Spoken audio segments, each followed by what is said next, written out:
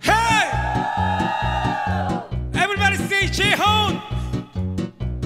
아, 결혼이란 다 그런 거지 누구든 이혼을 해요 소설 같은 한 편의 얘기들은 절대로 믿으면 안 돼 이혼으로 실망하지 마 끝까지 지킬 순 없어. 전보다 더 나은 재혼이면 돼. 재혼은 지금이야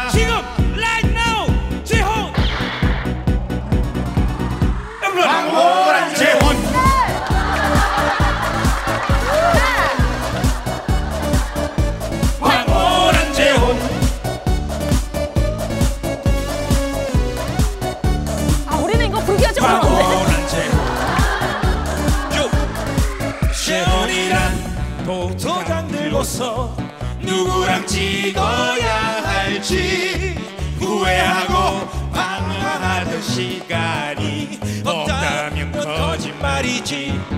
말해 뭐해? 쏜 화살처럼 조금도 지나갔지만 그 추억들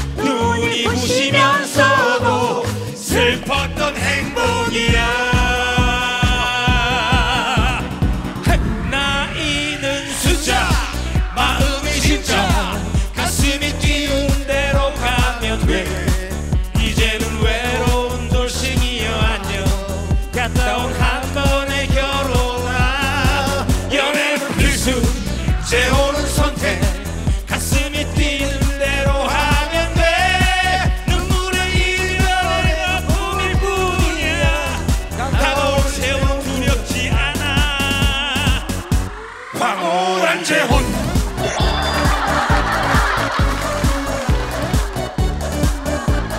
이게 우리가 불러도 되는 거야? 황홀한 재혼 매주 화요일 밤 신발 벗고 도시 봄에 많은 관심 부탁드립니다.